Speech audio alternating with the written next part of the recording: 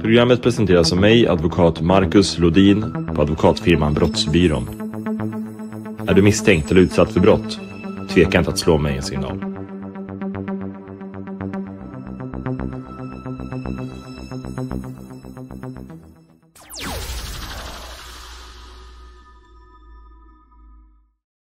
Och så ger jag ordet till advokat Rutgersson som börjar. Varsågod. Vad, vad sysslar du med i din profession så att säga? Mm. Jag är då psykolog i grunden och eh, forskar vid eh, någonting som heter Centrum för psykiatriforskning som är en del av Karolinska institutet och Region Stockholm. Och där forskar jag om spelberoende och spelproblem. Och eh, disputerade eh, 2019 eh, med en avhandling om behandling för spelberoende. Så det är ditt, eh, vad du sysslar med så att säga? det är det jag sysslar med, precis. Ja. Du har ju fått hela Per Holkners historia mm. och vi har också hört den här i domstolen då, hans berättelse så att säga vad som han har drabbats av. Och du har, har skrivit ditt utlåtande Eh, och dragit så att säga, slutsatser i förhållande till Per då, mm. utifrån dina erfarenheter. Hur ställer man liksom en diagnos för ett spelberoende? Ja, det sker ju i vanliga fall. Ehm, det gör ju då en läkare eller kanske en, i vissa fall en psykolog eller så, men ehm, inom sjukvårdens regi eh, om man ska vara eh, sträng. Och ehm, då det man gör är ju att man använder olika bedömningsinstrument eh, ofta för att sätta dem i relation till, Eh, till de kriterier som finns. Då i, det finns två olika diagnosmanualer som man kan använda för att ställa eh, den här typen av diagnoser. Den ena heter då DSM-5 och används ganska mycket inom till exempel psykiatrin. Och sen den andra heter ICD-10 än så länge. Det är en ny upplaga på gång som heter ICD-11 och den används mer inom sjukvården generellt. Och det är ju de då man, Eh, och då är det ett antal kriterier som man eh, bedömer eh, personer mot och ser om de uppfyller. Ehm, sen ska man komma ihåg att eh, de allra flesta får ingen diagnos. Ehm, och det är ju inte all behandling som sker i sjukvårdens regi heller, utan mycket Eh, behandling sker i eh, när, när vi pratar om i Sverige så sker det i kommuner och de ställer ingen diagnos och de har inga diagnosmanualer och journaler på det sättet. Så att, eh, därför är, eh, är det långt ifrån alla som, som får en diagnos som, fast som egentligen uppfyller kriterierna. så kan man säga. Är det en, liksom en del av sjukdomsbeteendet? Att man vill dölja allting och så inte alltså man måste ju nästan erkänna för sig själv att man är beroende? Ja, precis. Eh, det är väldigt vanligt att man förnekar att man har problem. Eller jag skulle säga att nästan alla gör det. Eh, man kan säga tills det inte går längre. Eh, alla, jag har ju träffat patienter kliniskt också, men också utifrån forskningen så kan man nog säga att i princip alla hårdrar jag lite, men, men så vitt jag vet så söker nästan alla hjälp först när de har nått eh, att det har uppstått någon slags kris, någon slags eh, väldigt allvarligt läge. Eh, ofta då ekonomiskt, att man har uttömt alla resurser att spela eller så. Eh, man vet från statistik både i Sverige och internationellt att det är kanske mellan 5 och 15 procent som överhuvudtaget söker hjälp för sina problem av de som så att säga borde göra det. Och eh, då är det en ganska ändå ett ganska vitt begrepp att söka hjälp. Det, eh, då räknar man även sådana som kanske ringer till stödlinjen då för spelare och anhöriga eller motsvarande en gång. Det räknas också som ett hjälpsökande, men även någon som söker sig till självhjälpsgrupper grupper och liknande. Så det är en väldigt liten andel av dem eh, som uppfyller kriterierna för spelberoende som, som söker hjälp. Eh, ibland händer att folk söker hjälp för andra saker eh, som är relaterade då. Det kan vara ångest, och depression, och stress, sömnsvårigheter och så vidare. Men det skulle jag verkligen säga är en eh, ja, förnekelse är ju det ett kardinalsymptom eh, inom beroenden generellt och inte, eller, eller en väldigt viktig del av, av beroendets karaktär. Kan man säga. Eh, har det funnits mycket hjälp att få överhuvudtaget tidigare? Eller är det något, eh, har man blivit mer medveten om det i samhället? Eh, man har nog blivit väldigt mycket mer medveten och när jag började med det här för ungefär ja, 2011 då fanns det väldigt begränsat utbud av behandling och stöd. Det fanns en del och fanns på en del orter och i en del projektform och så men det är väl först de senaste, det kom ny lagstiftning eh, 2019 tror jag att det var, ehm, som eh, gjorde att man fick, kommuner och regioner fick krav på sig att tillhandahålla behandling för spelberoende. Och det hade de inte riktigt haft tidigare. Det var en osäkerhet där, så det var ganska svårt att få det, ganska otillgängligt och så. Ehm, med det sagt så är det, kan det vara svårt även idag att söka eh, hjälp. Det är inte alla... Eh, eller det, kan, det, det, finns på många platser men inte alltid eh, personalen kanske har rätt, rätt kompetens och, och, så. så det finns utmaningar fortfarande men det har blivit ganska mycket bättre de senaste tre fyra åren. Så. Eh, Du har ju tittat då på, på eh, Per situation, har Mm. fått hans berättelse. Vad är dina slutsatser utifrån det?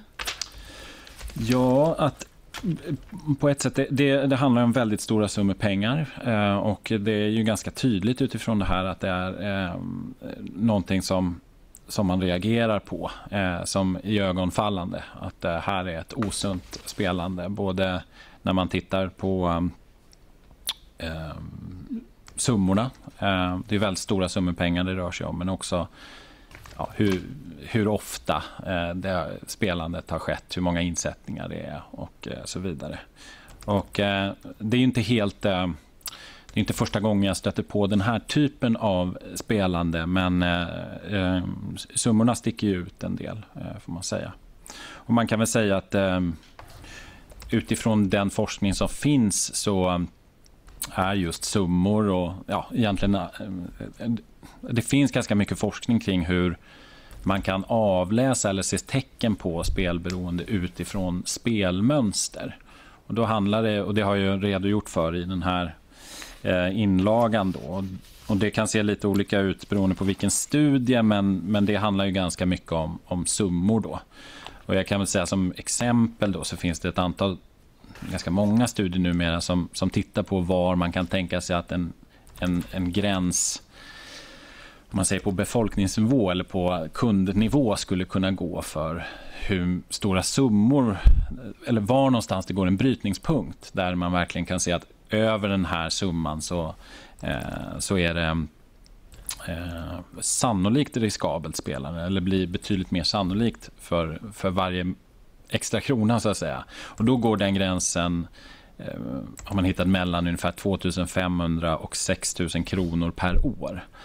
Och om man sätter då det i relation till, eh, till spelandet som det rör sig om här så är det ju väldigt mycket större summor. Och det är klart att det här kan bero lite på vilken valuta man pratar om för det är internationella studier också. Det rör sig också om, om inflation och sådär. Men, men det ger en fingervisning av ungefär var eh, någonstans ehm, eh, eh, en, en brytpunkt eh, sägs gå. Man kan titta på andra saker som hur stor del av ens eh, inkomst till exempel. Eh, eller hur, man kan också titta på tid nedlagt och där pratar man eh, runt Ja, den senaste studien jag såg som är från Norge, då var det 72 till 83 minuter eh, per, eh, eh per eh, ja, Eh, nu minns jag inte riktigt, men det var flera olika eh, indikatorer här. Eh, om man per månad 615 kronor, det var ju norska kronor då, men det är jämförbart med svenska. Och, så där. och 8,7 dagar per månad, då ökar risken för spelproblem eh, markant. Och det rör sig då om helt andra summor i det här fallet, så det sticker ju ut. så. Har, det har hävdats här att um, någon som har gott om pengar då, väldigt gott om pengar, så om det är någon, någon känd person som man vet har jättemycket pengar så, så behöver man inte reagera på samma sätt från spelbolagens sida. Men samtidigt, alltså det är ju ett beteende. Mm. I missbruket som sådan, spelar det egentligen någon roll hur mycket pengar man har?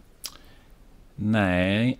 Um, Uh, nej, det, det, gör, det är klart att uh, har man mer pengar har man kanske större summor att röra uh, sig med förstås. Men, men generellt sett så um, handlar det ju inte bara om... Um, alltså det är ju ett beteende generellt också som inte bara har med, med summor att göra. så. Um, så jag har lite svårt att... Man kan säga om man skulle ta det osäkra för, eller eh, säkra för det osäkra eh, snarare så... Eh, om en kunds spelande avviker markant från, från normen när det gäller eh, summor och så, så eh, finns det ju anledning till oro om man är orolig för spelberoende. Och det är oavsett vilken inkomst den personen har. Vi vet ju att det finns många liksom, kända och välbetalda eh, personer som har spelat bort stora summor pengar för att eh, de har haft stora summor pengar att spela bort för. Men i slutändan så har ju många av dem hamnat just i den här situationen att man inte har några pengar eh, kvar. Så att säga. Det kan möjligen förlänga då eh, möjligheten eh, att spela, vilket ju i sig är problematiskt. Då.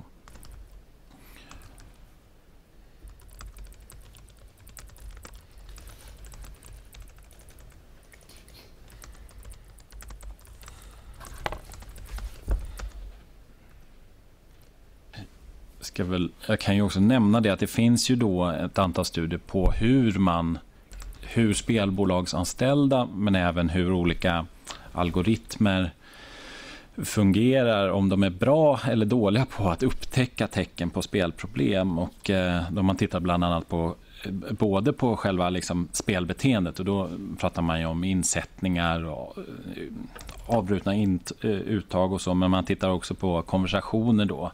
Alltså om man har mejlkonversationer till exempel med kunder och eh, det visar sig att både AI-modeller och, och eh, spelbolagsanställda är ganska bra på att upptäcka det där. Det är inte så svårt. Så.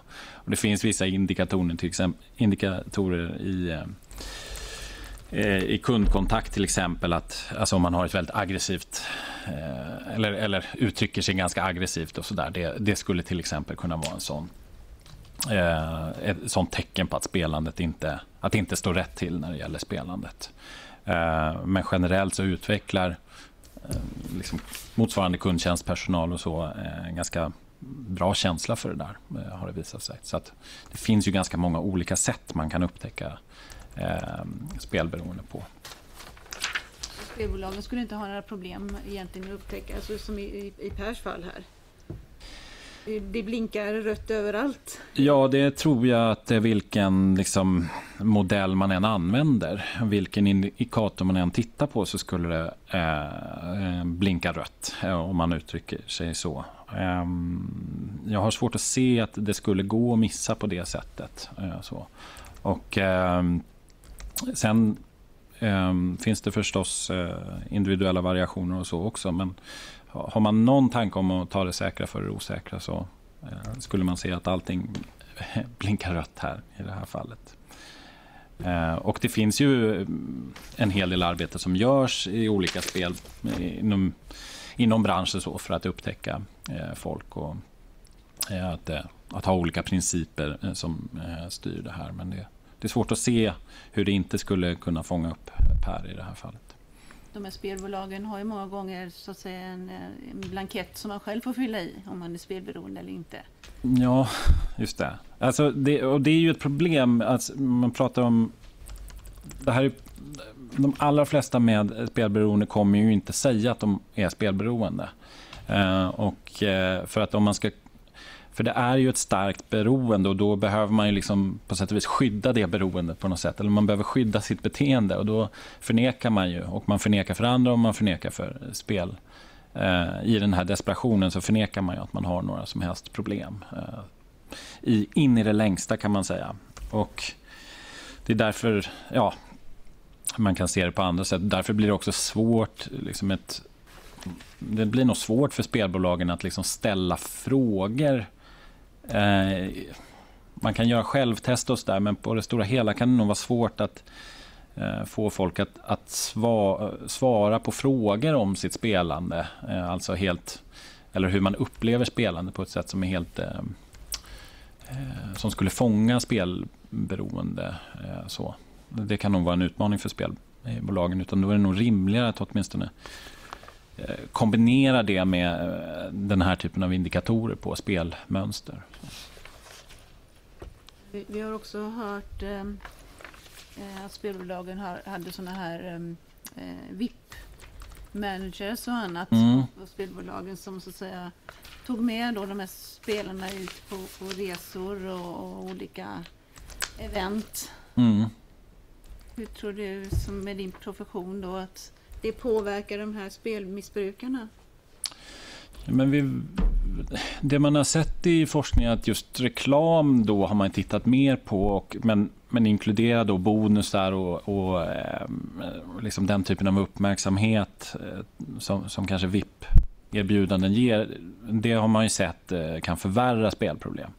Eh, man har ju sett att reklam, man tänker sig traditionell spelreklam, man tänker på tv och så, det kanske inte orsakar spelberoende från första början. Men däremot för de som har problem så kan det förvärra eh, problemen. Så att jag tror att man får se det eh, utifrån den aspekten. Så. Och, eh, man kan ju tänka sig att det här, eh, en typ av VIP-behandling för en person med spelberoende gör att man liksom ignorerar de negativa konsekvenserna. Alltså att det hjälper till att, att förlänga spelandet. Så, och det är väl syftet också. Men att man eh, eh så att säga, det blir en hjälp till att, att förneka att man har problem. Så, eh, in, så.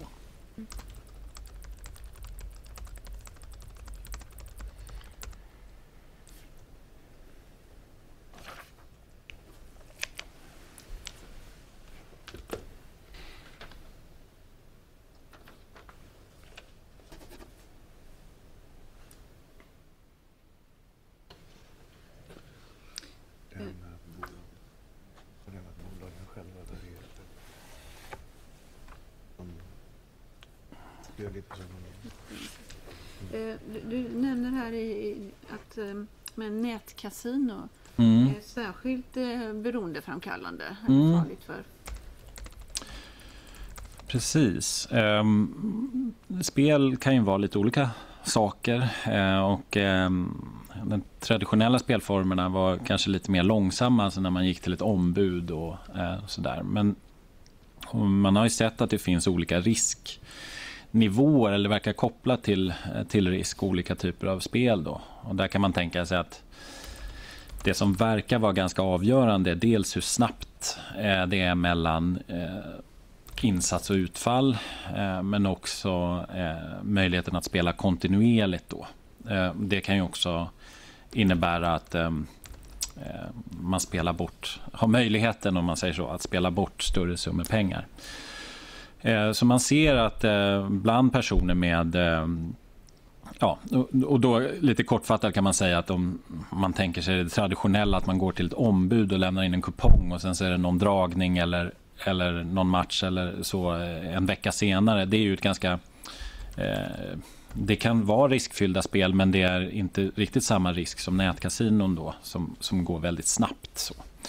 Eh, och det vi ser från ehm, eh, de, ja, de undersökningar som finns av patienter, eh, folk som söker sig till stödlinjen, eh, folk som söker behandling i olika sammanhang, då är det nätkasino och eh, nätbetting, alltså vadhållning då, sportspel. Som, det är de två huvudkategorierna eh, som det är i Sverige eh, idag. Och så har det varit eh, några år. Och eh, det har ju att göra med att de här har större risk och, och har mer negativa, eh, ger mer negativa konsekvenser.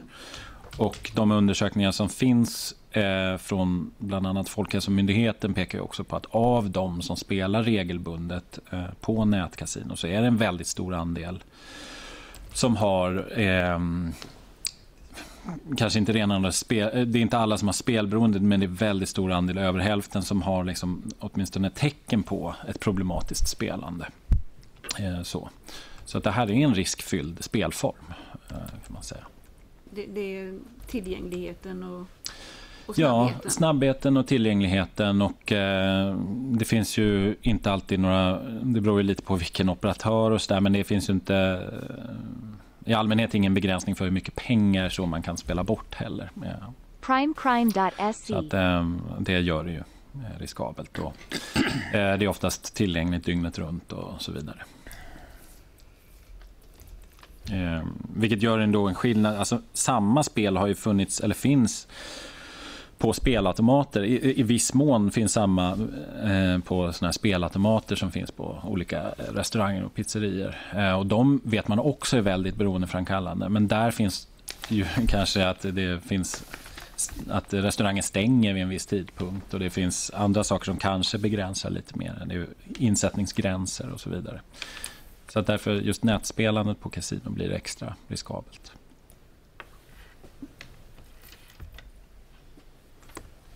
Ja, tackar.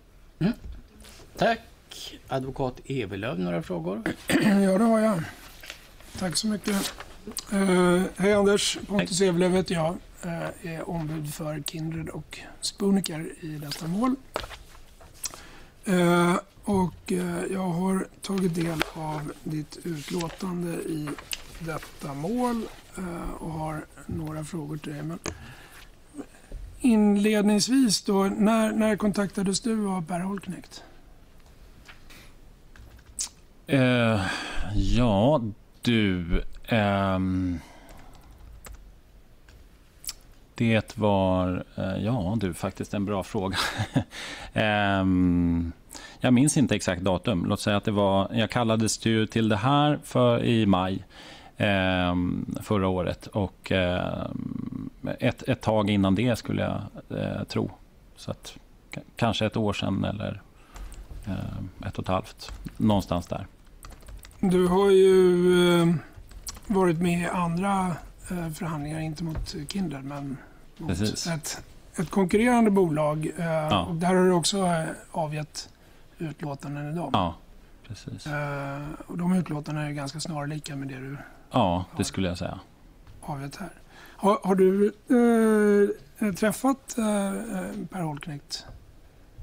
Innan, Han, innan, eh, som hastigast en gång i en tv-studio. Eh, men eh, det, var, det var inte så mycket möjlighet till att ha någon större interaktion. Och sen, ja, det är nog det tror jag. Har du läst hans självbiografi? Nej, det har jag inte gjort. Eh, Du var inne på det eh, här att utvecklingen, eh, så säga, medvetenheten kring spelproblematik har, har blivit eh, bättre under senare år. Och det, det är väl kanske delvis beroende på din egen eh, avhandling då. Ja, jag vet inte, men vi, det, har, det har hänt en del. Ja. Eh, De artiklar som du hänvisar till i, i eh, ditt utlåtande, de, de eh, kan man säga att de ligger eh, från så att säga, 2010-talet så börjar egentligen den här uppmärksamheten kring spelberoende. Ja, sen så har det utvecklats efterhand. Det kan man nog säga. Det beror nog på vilket sammanhang man tänker sig. Diagnosen har ju funnits ganska länge, sedan tidigt 80-tal. Den första svenska, eh, om man säger så här, officiella eh, studierna var väl 99. Och då var det en sån här befolkningsstudie. De undersökte prevalensen. Och där någon gång började väl, om man säger statens eller så här samhällsinstitutionernas intresse för den här frågan lite grann i alla fall. Och eh, då inrättades strax därefter, 2001 eller någonting sånt där, inrättades då stödlinjen. Så det var väl en, en det var ju innan jag kom in i det här fältet. Men det var väl en, eh, innebar någonting. Men sen fick det väl ganska mycket uppmärksamhet eh, inför och i och med omregleringen och att kommuner och regioner fick en förtydligat ansvar. Och det var ju runt, ja, låt säga, ja, förarbetena började ju Ja, jag vet, men, och, och Folkhälsomyndigheten fick fler uppdrag och sådär. Och jag vet att det var en drive runt 2000, ja, från 2010 kanske, eh, någonstans. Så satsades det liksom från eh, statens håll lite extra på forskning. Och, De här, du, du var inne på det, de här eh, spelbolagens analysverktyg. Eh. Mm. När, när började spelbolagen utveckla de här? Vet du? Ehm, Svenska Spel till exempel, när, när började de? Ja, du. Ehm, jag kan inte ge något exakt svar på det. Jag vet att det var diskussioner om något som heter GAM-test. Ehm, och det var ganska tidigt, 2000... Ja, eh, jag kan inte svara på det. det eh, eh Svenska Spel började där någon gång 2010, kanske 2000, någonstans mellan 2010 och 2005 skulle jag tro. Det finns ju... Ja, men Har de här verktygen blivit bättre eh, över tid menar, eh, eller eh, har du någon uppfattning om det? Om de har blivit bättre över tid att, att, så att säga, Ehm, analysera eh, spelmönster och sånt som du... Ja, ja, det skulle jag tro. Eh, Jag tror att ehm, vi kanske vet lite mer. Ehm, Sen tror jag kanske framförallt att de används mer. Du, man, du pratar om algoritmer och AI och sånt Ja. Det, det låter som att precis. det är senare. Det är senare. Allt är ju inte algoritmer och AI. En del är ju mer principer om man säger. Eh, och eh, Det kan ju till exempel vara eh, att man kontaktar alla kunder som spelar för en viss summa eller över en viss summa. Och Då utgår man ifrån att någonstans här är en kvalificerad eller en bedömning att här- om man spelar för mer än Eh, vad är det Norsk Tipping säger då till exempel eh, ja, eller, eh, de säger i och för sig att en viss procentdel, då, de 0,5 procenten som har förlorat mest. Då tänker man att men alla de kontaktar vi eh, för att höra hur de ser på sina spelvanor. Eh, och andra bolag har ju, jag tror Svenska Spel har något sånt där 10 000. Om man spelar för mer än 10 000 då görs en, liksom, en extra bedömning. Då, eh, eller så. Det har ju, man ska ju säga att det har ju som ni känner till också delvis att göra med sån här penningtvätts regler för penningtvätt också. Eh, det går ju delvis hand i hand att om det är väldigt mycket summor i omlopp så eh, är det ju inte bara en risk för spelberoende utan det är också en risk då för att det kan vara penningtvätt inblandat. Så. När, vet du när de nya eh, penningtvättsreglerna kom? Nej, det, det vet jag faktiskt inte. Det har väl varit i flera omgångar misstänker jag. Men eh, det nämns ju i förarbetena till omreglering vet jag. Det, det är inte ditt specialistområde. Nej, det är det inte. Det är inte. Men däremot så ditt specialistområde rör ju de här, ehm, bland annat då den här eh, diagnosmanualen, DSM-5. Mm, precis. Eh, och på sidan eh, två i ditt utlåtande, Mm. Eh, sista meningen i eh, första stycket. Mm. Där säger du då att det har gjorts försök eh, av forskare anställda av Kindred att koppla indikatorer från speldata till DSM-kriterierna för hasardspelsyndrom. Eh, ja, precis. Eh, Men det finns svårigheter eh, att operational, op, operationalisera DSM-kriterier som inte rör spelbeteende. Till exempel eh, tar du upp här då lögner om spelande eller negativa konsekvenser för arbete och studier. Precis. Eh, Den hänvisning som du gör eh, här, det är till en artikel eh, nummer 13 som då är skriven av eh, Maris Catania och eh, Mark Griffiths. Mm. Vet du vad det är för några Ja, då. forskare? Eh, känner du till dem? Absolut. Eh, Den här artikeln som du hänvisar till, den är inte ingiven men bara för att du... Det, det, jag ska inte ställa detaljfrågor kring den men första sidan, tingsrätten behöver inte ha den Jag tänkte bara fråga utifrån det som står där. Eh, på, det, det är den här artikeln vi pratar om. Mm. Ja. Precis. Och där står det då att the present study is the first uh, to examine the application of DSM criteria um, of gambling disorder to actual gambling behavior using online gambling transaction data and suggest ways that gambling operators could identify problem gamblers online without the need for self-report diagnostic screening instrument. Precis.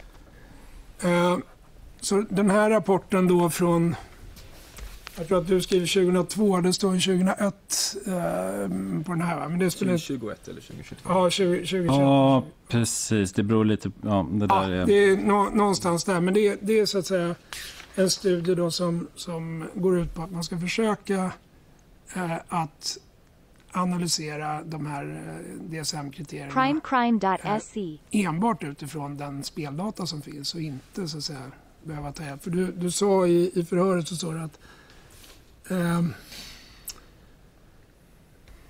det kan vara svårt för spelbolagen att ställa frågor, eh, att identifiera och det bör kombineras med indikatorer. Men, Mm. men håller du med om att det kan vara svårt för spelbolagen att enbart utifrån speldata utan så att säga, någon annan information eh, från ehm, eh, de, de här, alltså självuppskattningstester eller liknande, att, att ställa de här diagnoserna? Eh, jag, Ehm, ja, precis. Om man tänker på den här eh, studien så det de ser är ju att vissa diagnoskriterier då i DSM eller ICD, det är ju samma ungefär, eh, det bygger ju på självrapportering på olika eh, sätt. Så att deras poäng här är väl lite grann att det, de är ju svåra att fånga med bara speldata så att säga. Och därför eh, så, så att det, det är ju absolut så eh, om man vill veta just de frågorna. Däremot kan ju då min poäng är väl att speldata kan räcka för att ge en indikation av att det här är förmodligen ett osunt spelande. Sen om man, eh, om man, om man pratar på det stora hela, om det räcker för att liksom Alltså, när man ställer en diagnos så behöver man göra det inom sjukvårdssystemet så att säga. Så att det, det är nog rimligt att inte spelbolag ställer diagnoser. Däremot kan det speldata ge en indikation på att här är ett osunt spelande som man behöver eh, lyfta på ett eller annat sätt. Eh, Eller förebygga.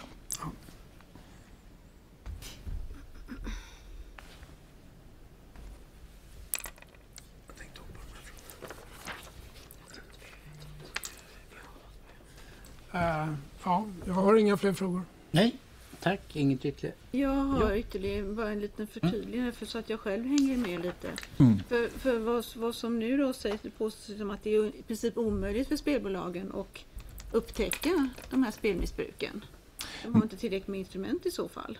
Eh, nej, det skulle jag inte säga. Men däremot finns det vissa, om- man går väldigt tekniskt liksom på eh, vissa av de eh, frågor eller vissa av de kriterier som är Eh, i DSM handlar ju till exempel har du ljugit om att spela?